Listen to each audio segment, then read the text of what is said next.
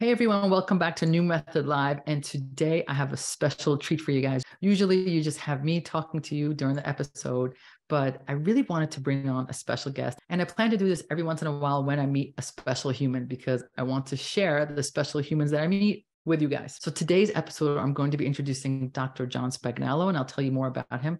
But he's amazing. He's a cardiologist that was trained in conventional medicine, but over time realized that there is so much more than what he was taught in school. So, in a moment, I'm going to bring him on. I'm going to introduce him and I'm going to let you guys enjoy the show. So, for those of you on Facebook, let me know that you're here. To ask questions. My team is going to be looking.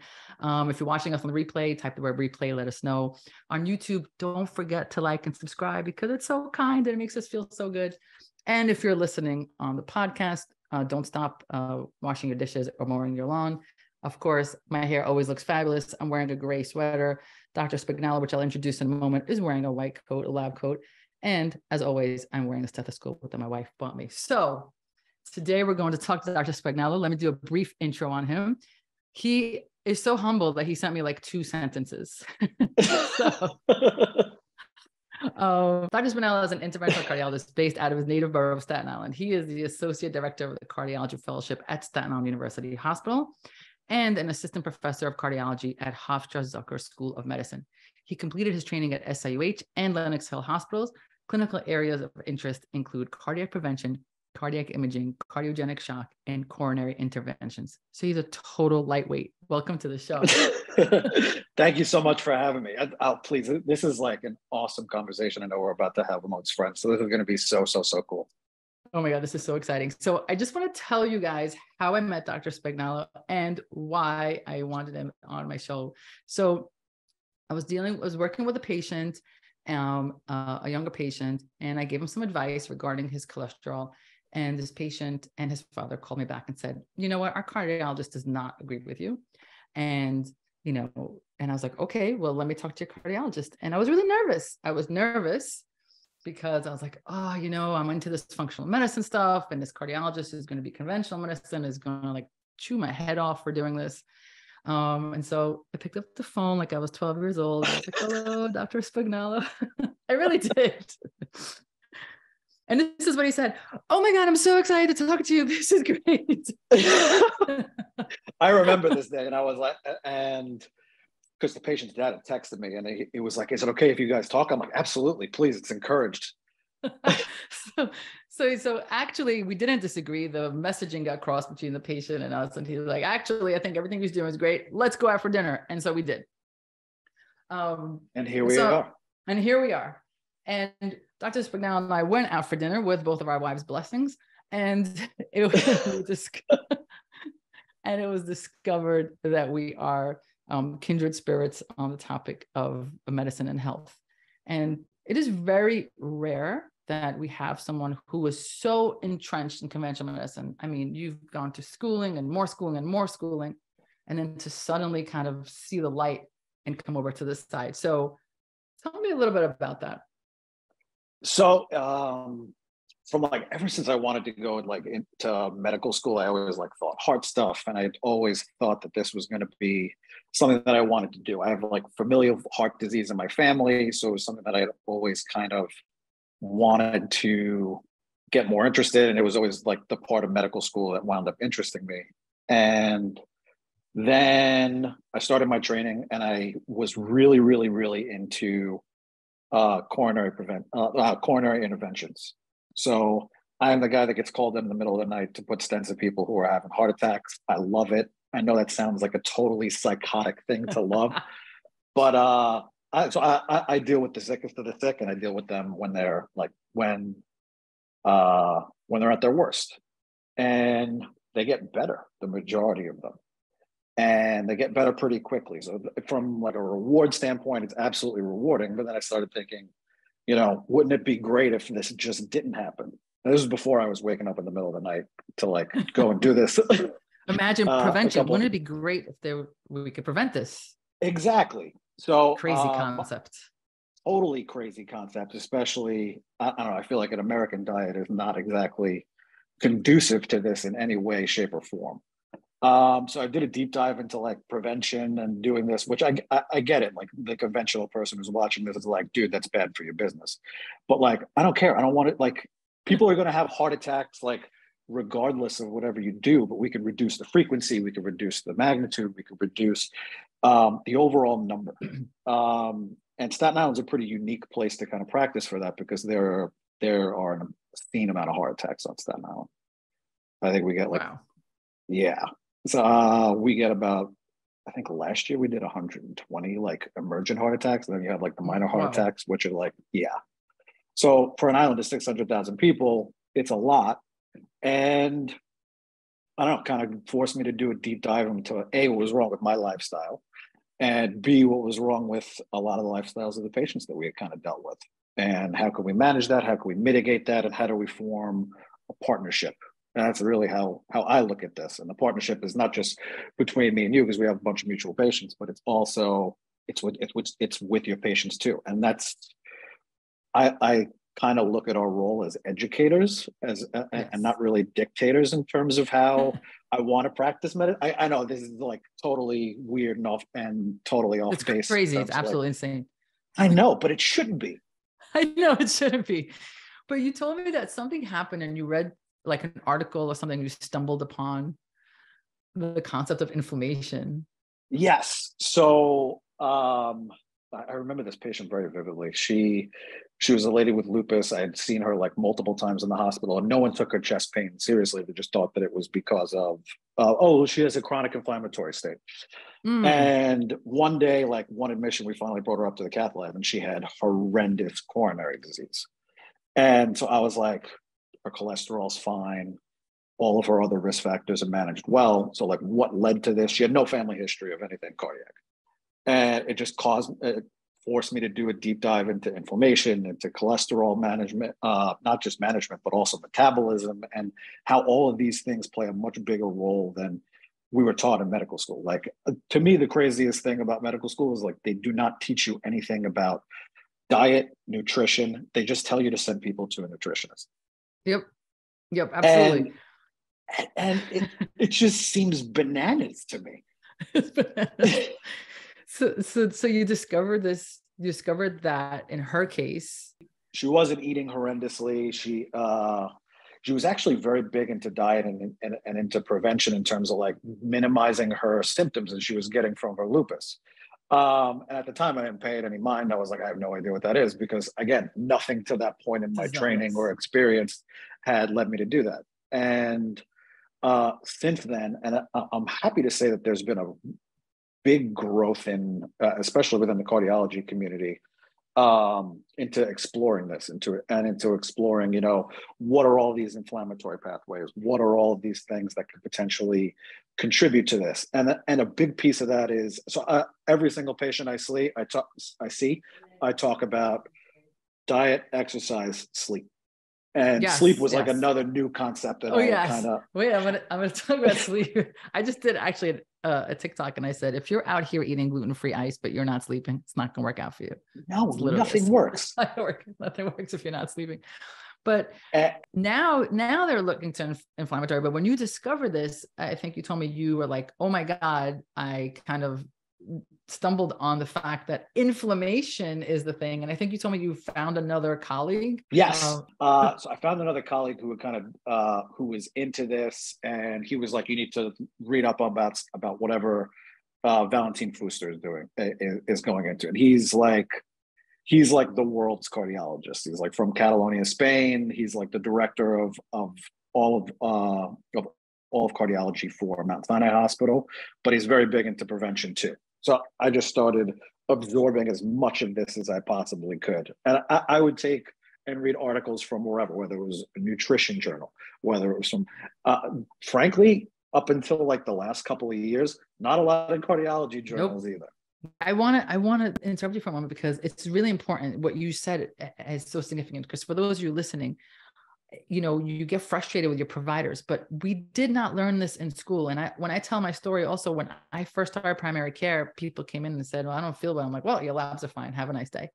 And and in your you know like i can't help you. Everything's fine. We're not anemic. Your, your thyroid's good. See you next year. Um, and you have to make a decision something has to spark you and you have to be crazy enough to keep studying right so you spend your spare time reading these articles. I spend my spare time going to the vortex of functional medicine. But the people who come with once once you kind of open up pandora's box you can't unsee it. No. You can't. But it also requires a certain amount of dedication on your part because you're spending time reading things that are not you know putting money in your pocket. They're not changing anything for you. You could be like no forget it. I don't care. But you care so much that you spend your time reading this. And that's really i just wanted to stress that for a moment. I don't want to gloss over it no and and i i think it's a big thing i think that uh, i think our primary role as providers is to care and and, and i'm not just talking about a lab value i'm not just talking about you know fixing something and then, oh great like you're fixed you're fine like eh, you, you need to take care of people and you need to take care of patients and that's I don't know, that's kind of what is at the core of me i mean i i, I get it pretty yes. early on in my career but uh, I don't. I've been this way for 36 years. I'm not changing. Like this is this is just who I am. Uh, before I, before I like went into this, I, I thought I was going to wind up going into finance. It just wasn't fulfilling. Um, mm-hmm. And luckily now I have a career where I can treat people from prevention through intervention and kind of get a full sense of what everything is like. So how do you like manage that? I, will I'll tell you what I mean. I, I, just did an episode about why the healthcare system is designed to keep us sick, and not in a conspiratorial way, but the fact that the healthcare system is designed for codes. Did you do a procedure? Did you do the thing? Put the code in. And there really is no coding for spend time with a family and figure out what they're eating. Spend time with, you know, there's no there's no real room for prevention and spending the time on things that you said, sleeping and eating. How do you manage to do that within the constraints of the system? So I have very understanding partners, uh, and that's the key right there. It's it's the key, and I'm not just talking about uh, about my wife. I'm talking about like the people who I work with every day. So like they hear me go on about my spiels and my rants, and um, I spend extra time with patients. And I, I, I, get it from like a from a cost and uh, income thing. Like we get paid the same amount whether we talk to you for five minutes or whether we talk to you for an hour doesn't make a difference. Um, but changing you and changing how everything can, uh, how everything plays into, you know, we're, going to get into cholesterol. I promise everybody. Yes. But, uh, but, but, uh, but to make real change, you have to spend time with people. And I like the relationship aspect of it. I like uh, getting to know my patients. I ask them about their families. I, I, and to me, it's like, how do you trust me if you meet me for 15 minutes? Uh, yeah, uh, it's uh, so true. and trust me with your so heart. yeah.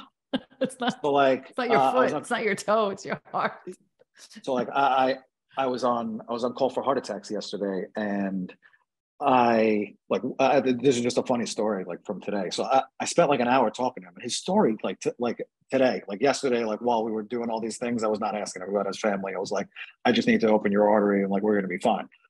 But I spent like about 45 minutes today, like in between procedures, and was just chatting up this guy. He, he is he's such an amazing person. But when I was walking out of the room, uh, one of the nurses was just like, "Wow, you were in there the whole time," and I was like, "Yeah."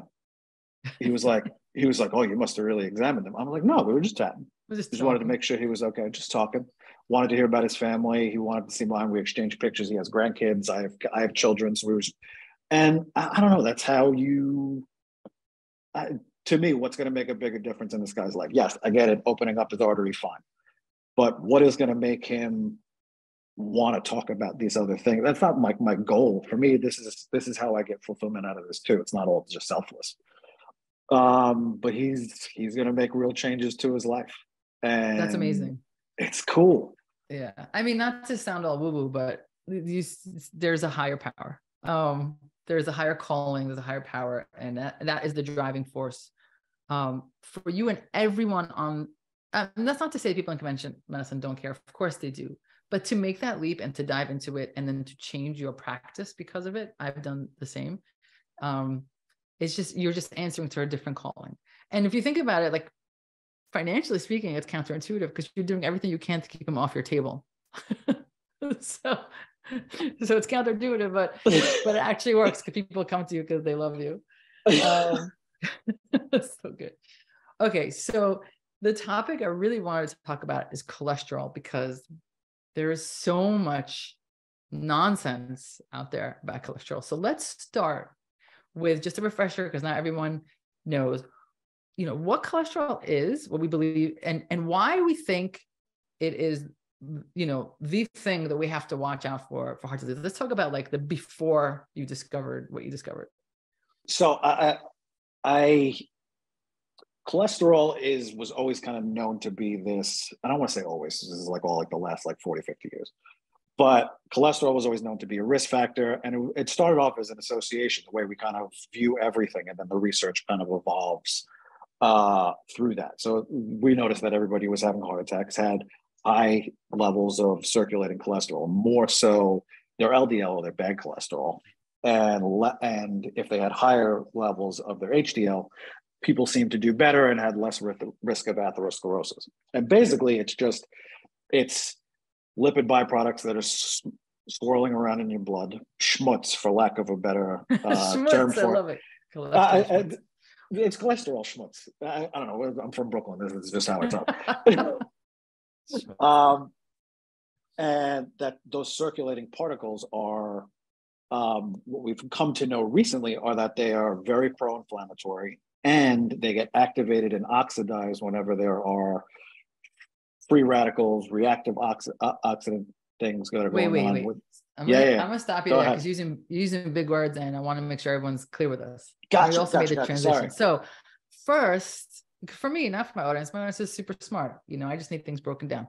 So um, I just want to first say that what you're saying, and I don't want to gloss this over, is that you had people who were having heart attacks. Yes. And you happened to find out that that elevated cholesterol. So a decision was made that, oh, this must be the reason it must be the reason that if we see high levels of cholesterol, therefore we're having heart attacks. Right? Correct. That was that was the connection. And so this is why we're all chasing to bring the cholesterol down because this must be the reason we made this this link. So that is carried us over, uh, carried still carries many people, but you're saying that what we've discovered recently is that it's not the cholesterol, but rather what is it? So it's it's the cholesterol plus the inflammation and whether or not the cholesterol that's circulating and, and, inflammation could be from anything. It could be from infections. Stress leads to extra inflammation in your body. And and to, i hate labeling stress as a risk factor for heart disease even though we all know it but it's such a subjective term. Like I don't know, uh, we all respond to situations differently, and we're all, we all can handle certain things in different ways. But our bodies handle things in different ways too, to different extents. So there's no way that I can say that my stress is different from your stress or different from somebody else's stress. But it's there, and it, we know that it definitely plays a role. Um, you can kind of test this by looking for um, inflammatory markers and uh, in, in blood work. And recently, we've identified a few that are more specific for heart inflammation and kind of lead us in the, into that realm. But there's inflammation that you're getting from everything your diet, chronic inflammatory conditions. Like to date, like I would love to see rheumatoid arthritis, lupus, uh, believe it or not, even like HIV, because you literally have an infection that's swirling around in your body for forever, even if it's managed well, but it's still a chronic inflammatory state and all of the i would love to like group these together and get the research and know that because we see it in clinical practice but it's not like one of the traditional risk factors that you think of. But the commonality between all of these different risk factors whether it's high blood pressure whether it's diabetes whether it's stress uh, whether it's diet whether it's cholesterol is inflammation. 100% so are you saying that if two people have the same cholesterol number but one of them has less inflammation. They are less, they will have a lower risk factor than someone with inflammation, whether or not we can quantify right now. But that is, is that what yes. you're saying? Okay. Bringing down it's, your inflammation will decrease your risk for heart disease, period. period. Exactly. And anyone who's watching me knows that everything I talk about is inflammation. So if I had to choose my specialty, it's inflammationology. Uh, inflammation. I think that's a good word. Um, I like it. Thank you. Because, like you said, everyone, I treat patients now all over the country. and I should say I coach patient because I can't, um, you know, take care of them cross state lines. So I coach patients all over the country, and they have they come to the table like you said. Some of them with RA, some of them with lupus, some of them with Crohn's, and some of them just aches and pains. And they've all been told, by the way, kind of like your lupus patient in one form of an of another, that oh, it's all in your head, because you know it's in. Yeah, nope. no, sorry. and the common denominator for all of them is inflammation. This is why I can work with them in a methodical way because our goal is to reduce their inflammation. And when we reduce inflammation, oh my God, the aches and pains go away, their flare ups go away, their skin gets better, their headaches get better. And it turns out, based on this conversation, that we've also lowered their cardiac risk. Without question. And it, it, it's it's interesting now that my lens has kind of changed. I noticed that you know the traditional risk factors also lead to increased inflammation. There we go. So so like uh, uh, so like um uh so people who have uncontrolled diabetes, whether it's with medicines, whether it's with diet, like also higher risk of inflammation and of course, that's going to affect your coronaries because inflammation is the common denominator. Same thing happens with high blood pressure. Same thing happens with stress. Same thing happens with the different types of food that you may eat. Now, I'm going to have full disclosure. My favorite food is cheese. I do not have it every day because of what I know. It can possibly be the worst thing you could have for yourself. But I, I, I, I, got to scratch the itch. I'm sorry. That's okay. I tell my patients it's okay to live in the gray because it's really hard to be 100%. So you you know stay as tight as you can, and then enjoy a moment, and then you hop right back on. It's okay. I it's never black agree with that. Never black no, and it, it, you got to like I'm doing this so you can live. I'm not. Mm-hmm. I, I, don't want to get in the way of you. And, and living to me is, you know, what happens between visits. Living is I want you to feel good. I want you to mentally be good and be well, but I also want you to enjoy yourself. I'm not yes. doing this so that way you can not enjoy yourself. Do do this like like I will fix you. Uh, like, but but you got to fix yourself and like just I want people to enjoy themselves, and I don't want people to think that like you know yes because I have X diagnosis or or Y diagnosis I can't enjoy. You have to. Yes. So there's there we just don't need to do it every day, every meal. Exactly. I think I think that's the difference. So you know, I tell my patients all the time, and I purposely also post it on my social media when I'm out with my family to show people I live a normal life because it is not possible to be regimented all the time. But if you're 85%, 99%, that's pretty damn good on the inflammation scale. Yeah. The majority of people live in the opposite direction, where they're good 5% Correct. of the time, 10% of the time, and then 95% of the time, it's just total chaos. It's total chaos. It's total chaos. And, and by the way, I'm glad you mentioned stress. And yes, it's subjective. Um, and there is nobody who has a stress free life. And that's definitely not what we're saying. It's really about learning how to manage your stress. And it's not my area of expertise. So whether that means going to therapy or whether it just means taking a moment, going outside and inhaling and exhaling, because we forget to breathe sometimes. Seriously. Um, or just let seriously. out a primal scream if you have to too. Like for me, yeah, that's very exactly. therapeutic. So that's what we mean when we say managing stress. We don't mean live a stress-free life. It doesn't exist. It's not um, possible. Um, not possible. But tell me what you discovered also about sleep that you happened to mention it. So sleep to me. So I, I ask everybody like a laundry list of questions, and I I, I forewarn my uh, my patients before, and I'm like, I'm about to ask you a bunch of weirdo questions now that you you didn't come here for. uh, so I always ask. Um, uh, describe a, re- a, regular day to me from the time you wake up until you go to bed. And then I fill in the gaps with the things that I really care about. Um, but the things I'm looking for are what is your support structure like? Mm-hmm. Uh, what do you eat and when do you eat? So I think the when of when you eat is also very important as a, a, a, in addition to what you eat. But then I also talk about sleep, uh, sleep quantity and sleep quality. So the easiest way for me to ask is, do you dream? So I ask, how many hours do you get a night? And then I ask, do you dream? And then it usually leads, uh, I've had some weird answers to that question. It's a great question. That's a good question. Um, Don't tell like, me yeah, your some, dreams. I just want to know if you dream. No, they all tell you their dreams after you. Like you're going to get that like afterwards. um, but uh, when people dream, they go into into a deep sleep or REM sleep, and it's I liken it to it's your body rebooting in safe mode. But um, in terms of rebooting, but it reboots everything. It reboots your uh, metabolism. It reboots your inflammatory cycle. It reboots uh, and recharges you for the day after. So uh, it's to me, it plays a huge role in overall body inflammation, and in addition to that, overall, I don't want to say health, but well-being. Like people who sleep six to eight hours a night and get good quality sleep, um, typically feel better in the day. Like I, I, I don't know how else to describe it.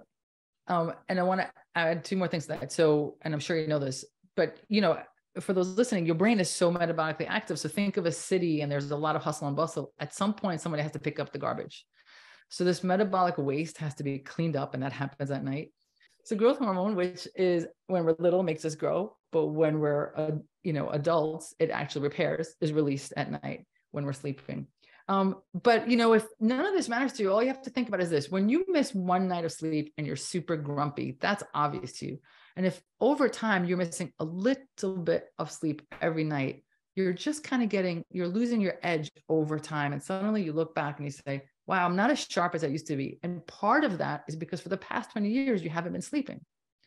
So it's, it's a big part of it. And I don't know if you're familiar with some work for Alzheimer's, but whether we're talking about prevention for Alzheimer or reversing of some symptoms, it, sleep is mandatory. You cannot reverse the symptoms of dementia if, if there's a possibility of reversing them or prevent it if you're not sleeping for precisely yep. these reasons. Um, that's big. And then you mentioned when they eat. What did you mean by that? To me, the biggest thing is having a fasting window before you go to sleep.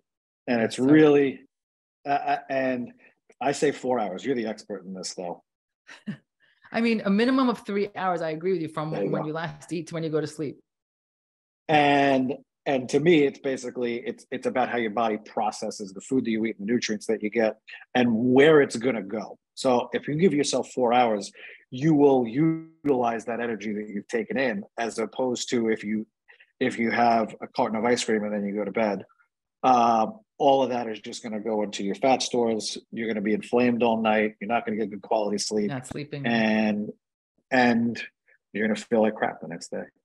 Yeah, now look, you like can do that sometimes, but if you do yes. it every day, it's a problem. exactly right.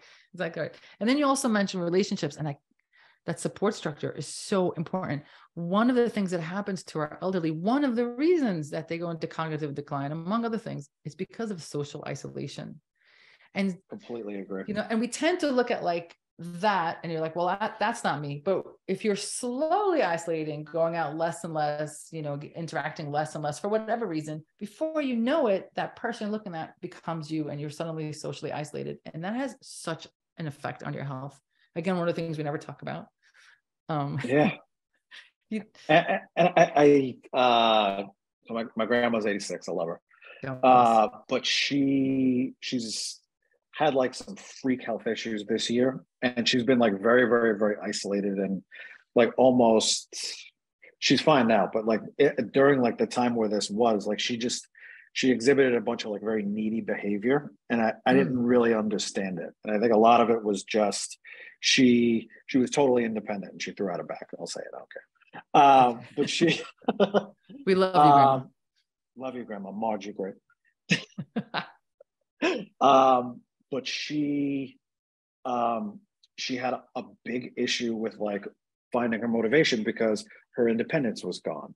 Her she lived like a very social life. Like she would go out to like lunch with like all her friends like every single day like like the whole mm-hmm. week.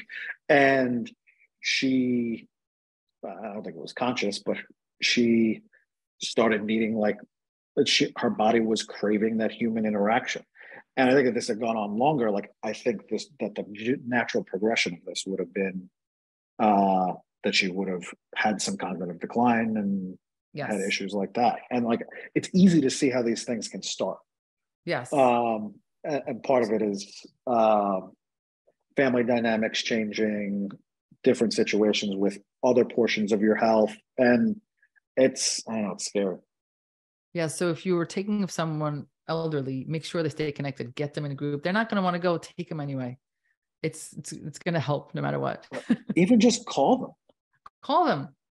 Yeah, call them, bring them to dinner, let them sit there. Even if, you know, sometimes they don't have much to contribute, uh, especially if there's a lot of different generations at the table. That's okay. The neurons are firing in the presence of the younger generation. You bring them in. Um, it's it's so important.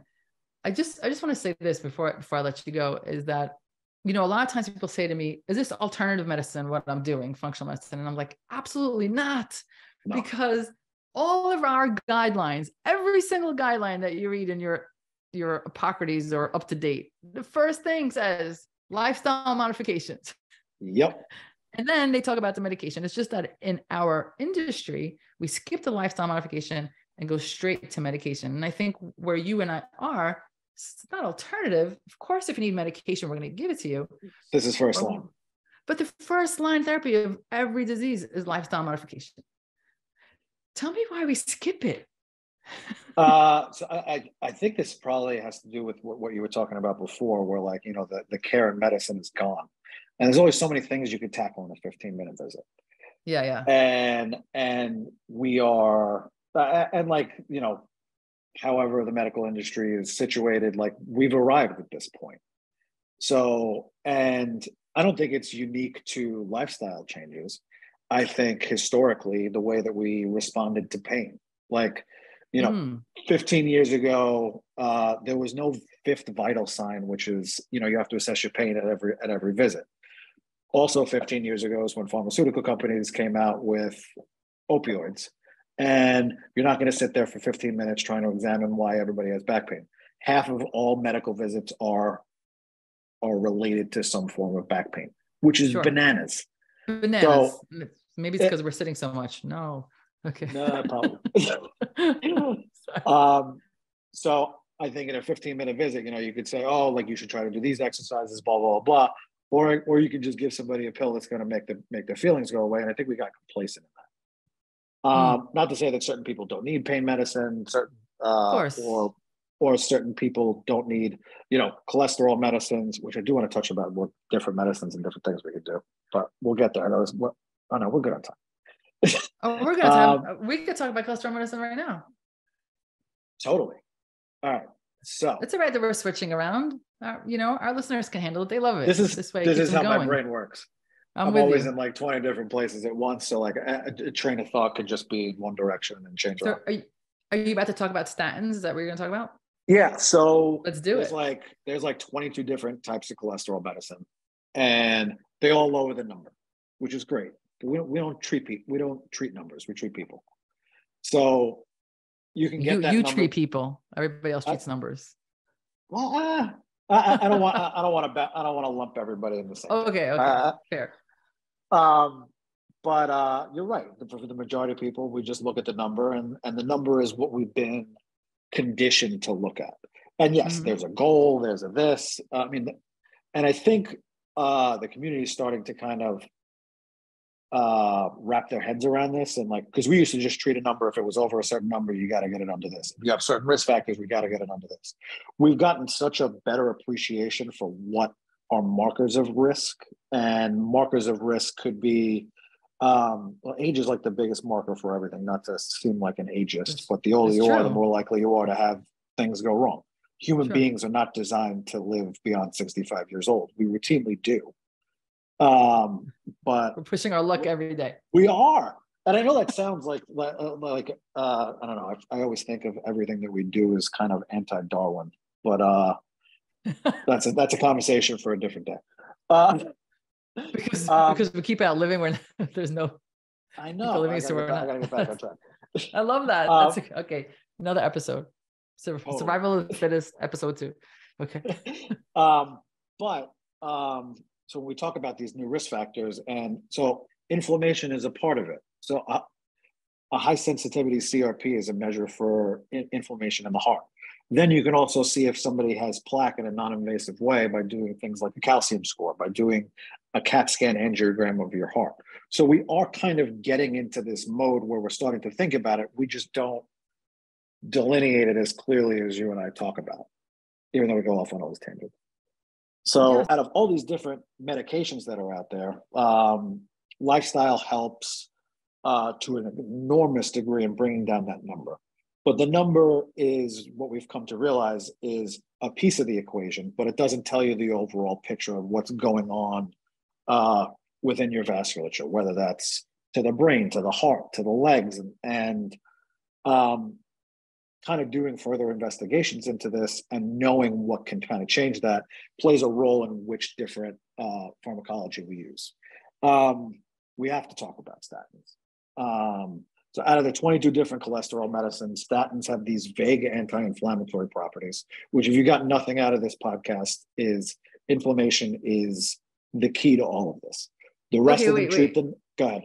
You guys, I guess I'm sorry because you say it fast, and I want my, my audience to appreciate it because you sent me these articles, and it actually blew my mind. It took me a long time to read them because there was a lot of big words, but yeah, uh, I, it, was, it was hard for like me to digest too. okay, good. I was like, oh my god, enough coffee, but I read them. And here's the thing that I really got from it. So the statins, you know, it came out and there was this conversation like, hey, they reduce cholesterol. So we use cholesterol.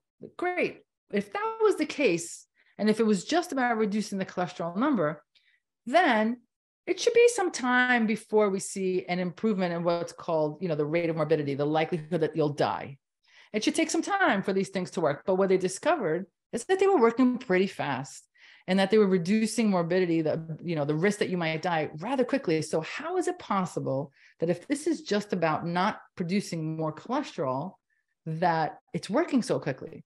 And what they realized is that while yes, it is part of the cholesterol building mechanism, but what they realized is that these statins work because they're anti-inflammatory. So yep. taking these statins, thinking it's like some sort of um, cholesterol I'm gonna say buster, not really, but but in fact, they're just anti-inflammatories. And if you just did the anti-inflammatory thing, you wouldn't need the statin with all of its side effects. That's what you're saying, right? Yes. So like um to for primary prevention without question. Okay. Um for things like uh this is uh, if you if you've had a heart attack, if you have stents, if you have these things, the long-term patency of these has been well studied over like the course of like the last 30, 40 years. So like those are the people who I will try to keep on these on these as long as possible. I will lower the dose at, at, like to the minimum that you even have to do it. But for prevention and to kind of get out of this, which is my jam, uh, nip it in the bud early. Lower yeah, your so, inflammation, uh, change your eating habits, do all of the things because the end result could be gnarly. So you're saying kind of like there's two groups of patients, right? There's a group of patients who already had an event or are yes. very likely to have an event. For those people, yes, medication statins are going to be part of the picture because yes, anti-inflammatory, but also we have to make sure we're not building any any, any kind of plaques or anything because there was already an event. So why are we messing with it? But for those of us who have not had it and we're just dealing with cholesterol, consider the fact that if you're being put on this medication, one of the reasons it's working so well, one of the reasons is because it's an anti-inflammatory. Thousand percent.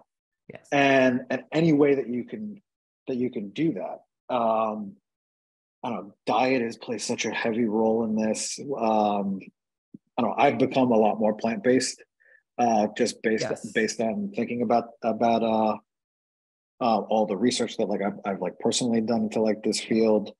Um, I do do intermittent fasting, which I understand is not for everybody. For me, particularly, it works pretty well, uh, and I still enjoy myself. But I keep a close eye on everything. I need to kind of make sure, and I feel it when I've you overdo bad. it. Yeah. so so just a quick recap, right? So intermittent fasting has um I just did an episode on this one. I was like, intermittent fasting is not about weight loss. Like, yeah, you might lose some weight, but it's about being anti-inflammatory. Bottom line. It's why the aches yep. and pains go away. It's why you're clear headed. It's why it's why it's better for your heart. Anti-inflammatory. Um, and then you said plant-based. I have uh, my my reasons of why I think plant-based with some animal protein. When I say plant-based, I don't mean vegan, or vegetarian. But what do you no, mean no. when you say plant-based? So for me, um, I do. I try to stay away. So the the easy things whenever because uh, we have limited time to got to talk to patients. I always am like, I'm like, look, these are the things that are bad for you. Uh, but if you can become more plant based, try to try to decrease your animal fat products that you have. Like saturated fats are like one of the worst things you can do. They're pro. This is like the, the saturated fats could be like the, the nexus of this lecture. They're pro-inflammatory. They're pro-cholesterol. uh, factors. So if you can minimize those as well as promoting your intakes of unprocessed fruits, vegetables, nuts, berries, um, while also getting in some animal protein. Like I love fish, I love chicken. Try to stay away from red meat as much as you can, but like have a juicy steak if if you feel like it every once in a while. Not yeah. telling you to do it every day, but and there are people who do. But yes, there are people uh, who do. So I'm I'm but, more on your page. I I tell people eat the rainbow, not Skittles. Look at your plate. Make sure you're purposely choosing color because each one of those colors has a phytonutrient. So you know, go outside of your comfort zone. Eat the weird bok choy or something that you wouldn't usually eat. Everything sauteed in garlic is delicious, and then yes, and then have a, a, piece of animal protein unless you're ethically against it. Um, and I think that's kind of like the ideal. There are some cardiologists out there, functional cardiologists. I'm purposely saying cardiologists because these are people who are well versed as, as you are, but they're in the functional world who are actually more pro carnivore. And I have yet to figure out why. I look forward to talk to them. Um, just want to say it out there for people. Um, it's not where I stand. It's not where Dr. Spagnola stands, but no. they do exist. Um, so, but I'm also not saying vegan vegetarian because I have to tell you, I have a lot of vegan vegetarians who are coming in diabetic because they're eating potato chips all day. oh, you could. Uh, I think this was your line, and I love uh, uh, when we had dinner the the first time we met in person, and you were like, "No, you could be you could be vegan and you can eat Oreos all day." Yeah, you're vegan, but yeah, yay. exactly, exactly right. And be full of inflammation and all these other things. That's amazing. Um, okay, so I want to wrap this up because I know you have to get to your family. Um, so I'm going to put, of course, in our links uh, at the end of the show where you can see Dr. Spagnola. Dr. Spagnola works uh, for those of you who listen to us nationally. Unfortunately, he only works in New York and in Staten Island. So if you want to see him, you got to come in here. Um, but for those of you who are local, he takes insurance. So hurry up and get there any and all. I have to treat everybody. Any and, any and all. He's amazing. But do you have any message or anything that you would want to leave the audience with? I know I'm putting you on the spot, but let's try it out. Um, I, I think if you want to talk about prevention, I, I, I definitely think we could talk about that if you want to as a patient. Um, it's a big part of everything that I do, which I think is why you and I work so well together because we we talk about uh, a lot of these things and a lot of interesting patients like uh, um, and management decisions. Uh, I don't th- I don't like the idea of cookbook medicine, and we've kind of mm-hmm. gone too far down this road. Um, but the only way you can really get individualized care is if you have individualized relationships with your patients. So again, all of these things kind of play uh, a role hand in hand. And like I said, myself, my partners are all along the same pages with this. Um, and if if that sounds like your cup of tea, uh, please come and see me. Um, would love to chat with you, whether it's about cardiology, whether it's about this. But talking about a healthy lifestyle, I think an ounce of prevention is worth more than a pound of uh, treatment. Amen. I love that. Um, thank you so much for your time. This has been amazing. I really hope you guys enjoyed this as much as I did. I plan to bring on more guests in the future. But until then, if you want to reach me and my team, it's the Knew Method and just about every platform except for Twitter because I talk too much. The Knew Method is spelled with a K because you always knew there was a better way. I'll talk to you guys soon.